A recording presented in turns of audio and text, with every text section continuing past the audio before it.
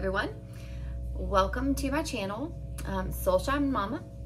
Um, if you're new here, my name is Crystal and I am a homeschool mom um, to one little guy. He is 11 and we just started homeschooling um, a couple years ago. I pulled him out in fourth grade and uh, we started with the classical conversations community um, where we live and um, what I'm going to be going over with you today is the Essentials student binder that I set up for him and all of the students that I was tutoring last year. Um, I didn't tutor the whole year. I kind of started out and with my work full time and homeschooling him, you know, by myself um, it was just a little much um, learning all of the things as I was trying to teach them and um, the person that was originally going to tutor that I had stepped in for was able to step back into that role. So um, I did get started and um, I did uh, tutor for part of the time. So I was the one that kind of set up the binders and um, what I ended up setting up really worked well for us. And I had a lot of other um, parents tell me how helpful the binders were. Um, the way that I set up our student binders is so it's like an in-class and an at-home binder. So it worked for both and could kind of go between.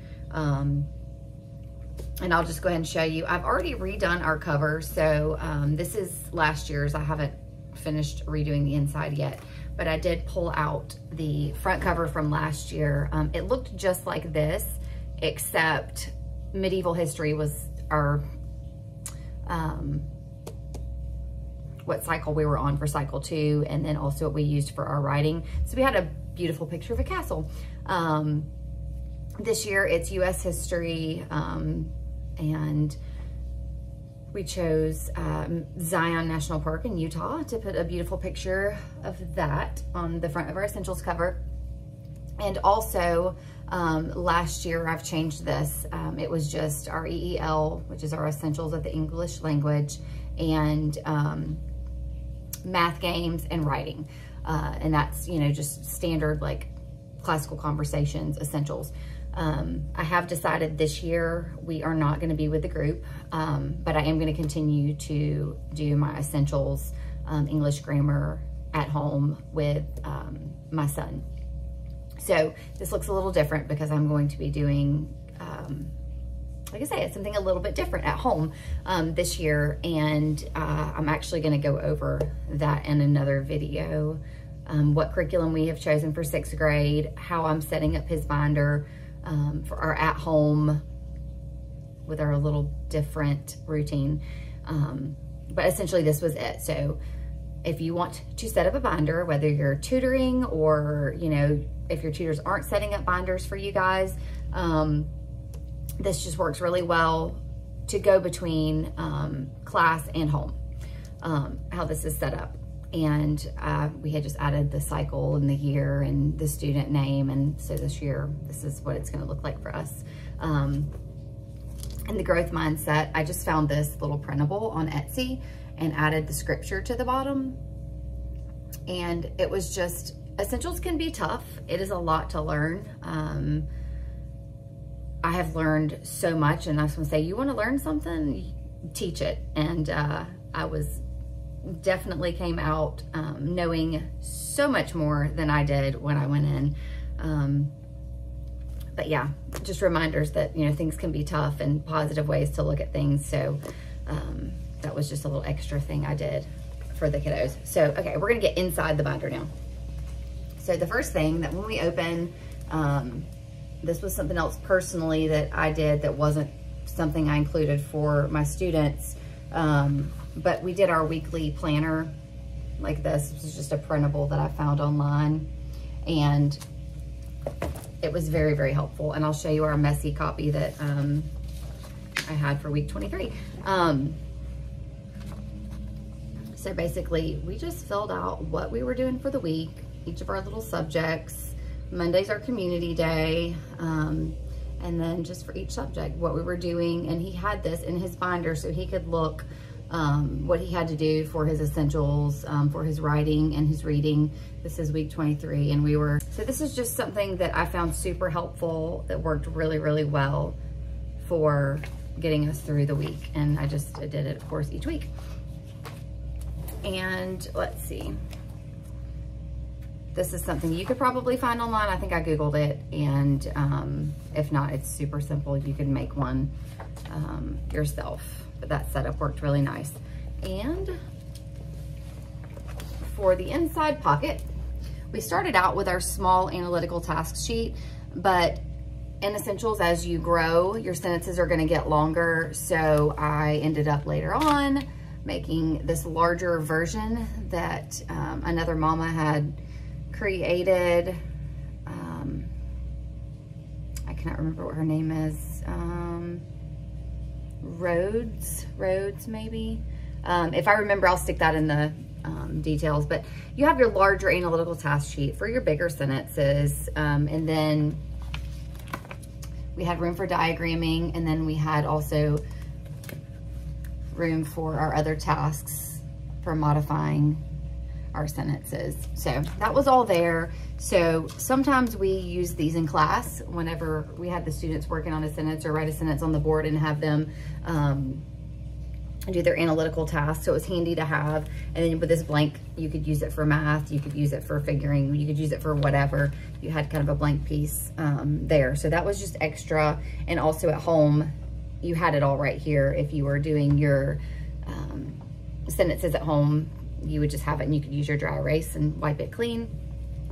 As far as what we did in our little pocket, we had a dry erase uh, I can't even think, like a little cube.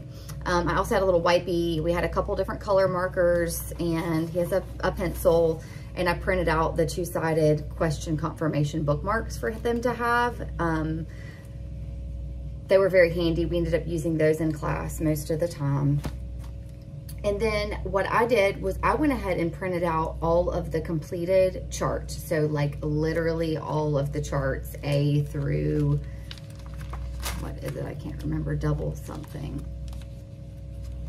Let's see, A through everything.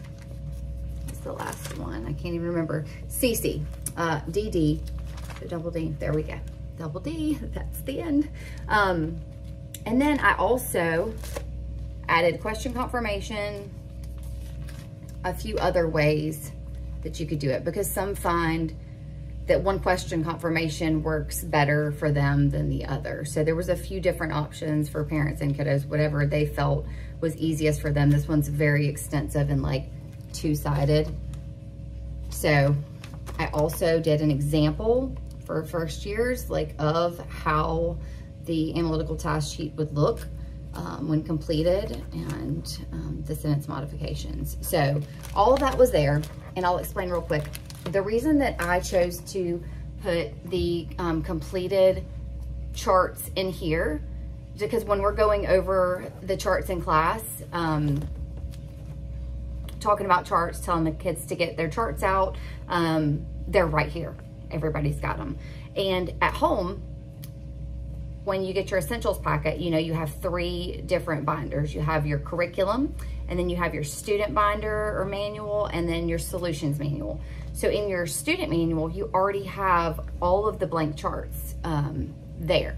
So you don't really need blank charts. When you go home, they can pull this out and if they're copying, they'll have their charts they can copy from right here and then they have their other binder and they also have their editing in the other binder um, and blank analytical task sheets in there if they needed it. But that was, we're gonna use these in class um, to go over for them to review. And um, so that was, that was why we did the fully complete charts instead of the blank charts in this folder.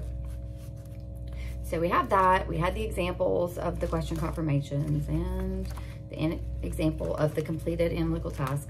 And then next what we had was weeks at a glance. Um, so I put this in here and we had our chart or our little spreadsheet here. Um, show you. So we had our spreadsheet of our schedule. And this has everything um, for writing and for your essentials. And um, this is awesome to have. And I just, you know, we had double-sided and it tells you everything that you need to know. So you have your weeks at a glance. And what I had also done um, on the Onward Ezine, Ezine, Ezine, um, on the CC Connected, there are weekly sheets that I believe they're called, and it's got, it's like a little agenda page where you can check off everything that needs to be done for each day. It's got your vocabulary words, it's got writing, it's got chart tracking where they can mark their charts um, as they do them. The only problem we had, um, and a lot of communities may run into this problem, the IEW program, the writing program we use, I want to say there's 30 something weeks or there's more weeks than the 24 that Classical Conversations meets for. So you, we didn't go in order. We kind of moved some of the writing around and you know, you have to omit some so you don't get to do them all. Um, so the problem with those weekly sheets is if your community does that, um, we got through week eight and then the writing didn't line up. So there are other options for that. They're not necessary. If you use something like this or create something like this, you, you know what you're doing and you've also got this, so you know what you're doing here. Um, and I think some other parents have created other versions of that weekly sheet and um, you can probably find that in the forums section on CC Connected. But I found that that worked well and we wanted to use the weekly sheets, but they only again worked for us through week eight in our community. So wasn't something that we ended up keeping in here. So we have our weeks at a glance. And then I also included um, our vocabulary. So we have our essentials grammar vocabulary. It's two sides. And then um, we also um, added the vocabulary for our writing program for the IEW. So the kids have their vocabulary words here. They can just mark off each week as they go through their vocabulary words. Um, if they need to reference them, they're right here. And then the next section was our math games because of course we're gonna be playing our math games in class. And so this next section just includes a lot of different math games. We had our multiplication charts um, for multiplication four in a row. Um, we had another version. We had racing shapes game, the area game, multiplication as well. Our snake game, this is of course a class favorite. If you guys have played, you probably know. Multiplication squares, uh, number knockout. This is a classical conversations specific game. And then I just found these on Etsy and printed them out for my kiddos. Um, it's a beautiful, vibrant color um, multiplication square, but I opted for the black and white at the time because I was printing out a lot of them for class and um, colored ink was running out, so they're black and white, but you can, if you find these on Etsy, they're beautiful um, when printed in color. And I think I'm gonna do that for his binder this year, just so we'll have that since I'm only gonna be printing one. And then we had our powers and squares and cubes. And then our squares, cubes, and square roots. Just helps for when we're playing number knockout or any other games. And then I went ahead and was extra because I like to be like extra sometimes and very detailed. And I printed out and typed up all of the rules um, for all of the different math games. This way, whether we're in class or the kiddos are at home and you guys are trying to do your math games together with siblings or just with your child, um, you have the rules and how to play and all of the things there for you. So um, I did that and included that. And then the next section was our writing helps. And this was, again, this is from uh, last year from cycle two from medieval history. And then what I had in there, details, just to help the kids okay, these are our dress ups. These are our sentence openers. Um, those are mainly first and second year um, focus and then the the greater focus as you move on for second years maybe third or fourth years some people do get um, more than three years your more advanced um, dress ups and decorations and um, the triple extensions so they're they're included um, and then this is breaking down um, all of your dress ups and each one and the details of each dress up, what it needs, what makes it work, what makes it a dress up, what makes it not a dress up, some examples. Um, so that's there, all the dress ups. And then also it goes into all of the different sentence openers. So we have all the sentence openers also. And I did put them all on sheets just to keep them safe and protected so they would have them and the reason I did that um, is because after our first year, we had trouble, like I had to mark in my writing book, like with little tabs, like this is where the sentence opener is and this is where this is. I mean, there's a table of contents at the front that tells you this, but I kept having to flip through the book and flip through the book and we're trying to do the writing and then we're trying to flip through the book and find the details of what the dress ups are and the sentence openers. So it was super helpful to have that information on hand where we could just have it in one place. Um, so that was just uh, after my first year trying to navigate all this, coming in actually in the middle or a little bit late in the year, not quite the middle. Um, things that I found helpful that I didn't know or needed or would have been better to have a little more organized.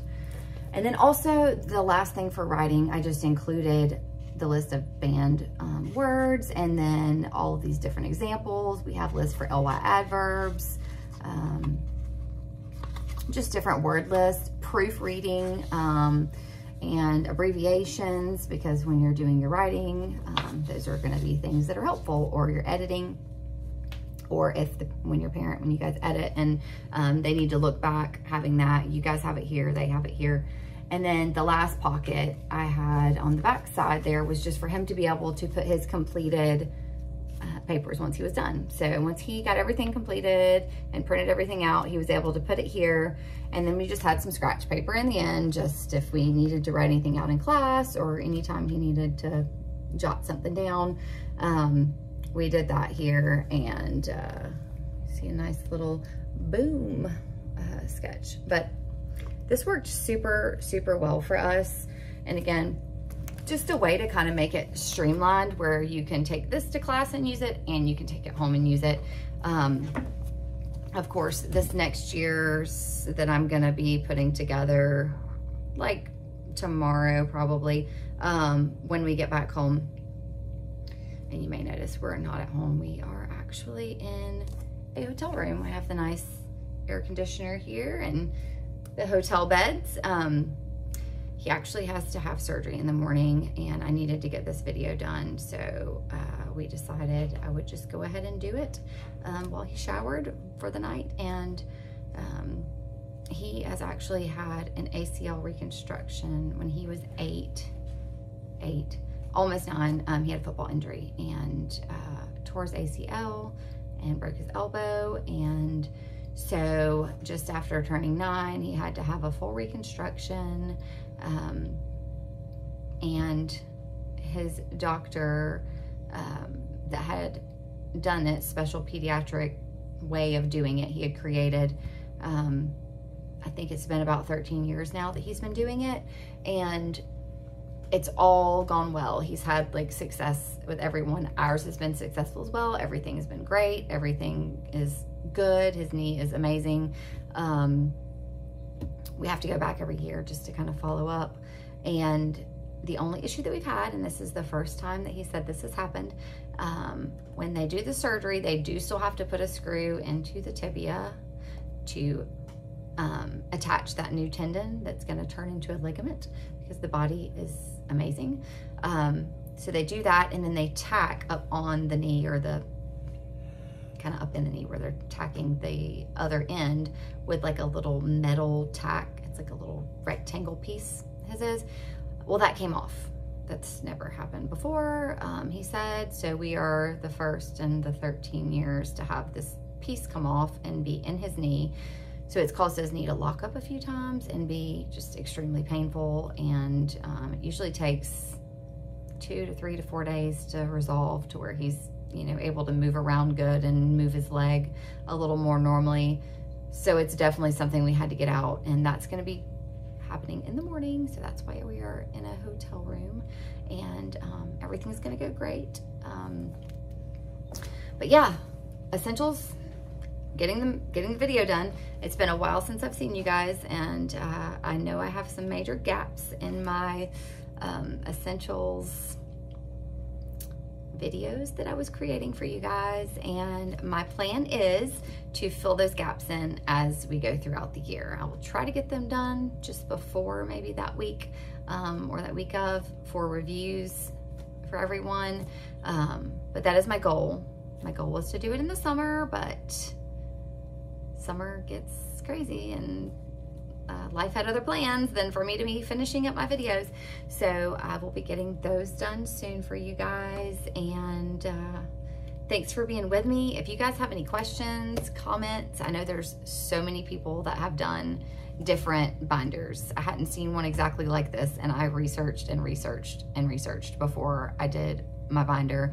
And then I finally just took a step back and said, okay, like what did we need? Like what worked for us? What were we lacking? And how can I make this simple and not too much and um, still enough? And this is what we came up with. And again, I hope this is super helpful. If you have any questions, comments, if you just want to say hello, um, you can leave a comment down below. Um, like this video if you found it helpful and I will see you guys next time. Thanks again for being with me. bye.